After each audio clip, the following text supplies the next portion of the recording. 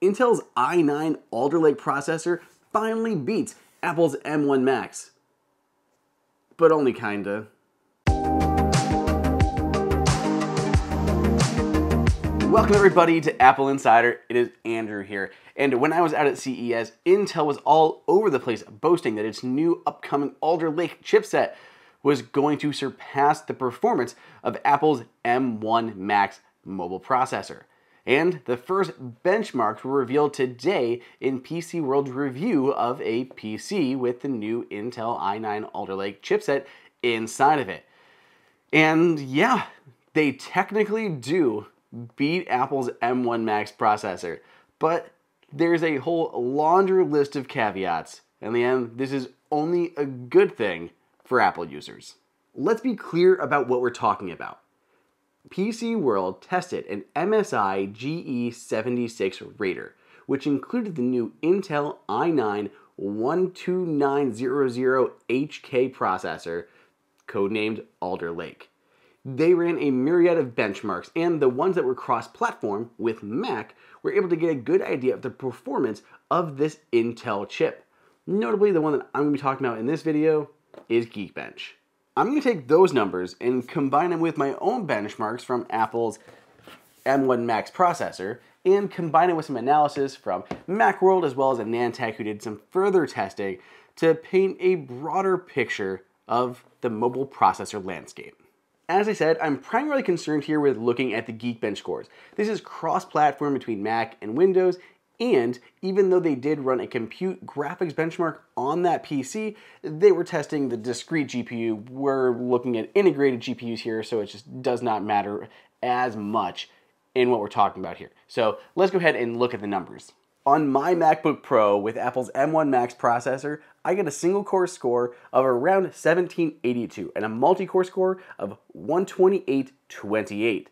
Then if we go ahead and compare that to the new Intel Alder Lake scores, which according to PC World earned a 1838 on the single core and a 13235 on the multi-core. If you do the math, Intel has maybe a 4 to 5% lead over Apple here. And the crazy is, if you've ever used Geekbench, three, three to five, four to five percent is like the margin of error for Geekbench. Scores can deviate that much just running them back to back. They can go up and they can go down. So right now, I'm not even sure what these numbers were from PC World. If these are an average of their tests, if it's just one single test they ran, if it was multiple times, was their high point, their low point. I don't know yet. And it'll be interesting to see as more machines come out how these processors are going to really stack up in the real world. But if we take these numbers at face value, yes, Intel does get a higher score on the single and multi-core score than Apple's top of the line M1 Max processor. So that's it, folks. That's wait. Nope. You knew there was more to talk about. You knew that wasn't the whole story. Otherwise, you wouldn't have watched this video. So the rest of the story as it pans out is PC World did some testing and they found that the power draw on the new Intel processor was around 100 watts on average, but there were peaks to 130 and even 140 watts of power draw to get these high numbers. Uh, go, going back and looking at AnandTech who did a similar test on the MacBook Pro with the M1 Max processor, it was only drawing about 40 watts of power like a third of the power draw of what the Intel Alder Lake chipset was consuming. But what does that mean? It means a few things. One, battery life is not nearly as good on this MSI GE76 Raider. In fact, they were getting only about six hours of offline video playback versus the MacBook Pro, I think the 14 inch MacBook Pro, 17 hours. Six versus 17 is a drastic difference in battery life.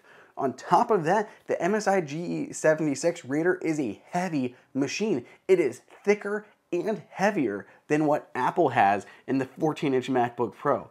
So it has a bigger, chunkier battery and significantly worse battery life to get maybe 4 to 5% improvements on the processing power. This doesn't even include the fact that the G76 Raider that they're looking at has really loud fans. Apple Insider spoke to a couple users and the fans are insanely loud when this thing kicks into full speed. So not only does it consume more power to get these scores, it has really loud fans that are ruining that user experience while you're using the machine.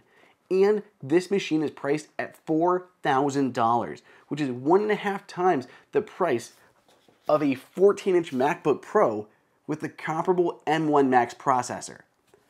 That said, the GE76 Raider does have that more, that higher end GPU versus the integrated GPU that Apple offers with the MacBook Pro.